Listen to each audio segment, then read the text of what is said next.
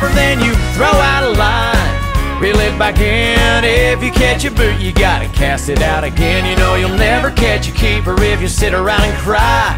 So get back in that boat and fish. Now you heard the girlies kissing.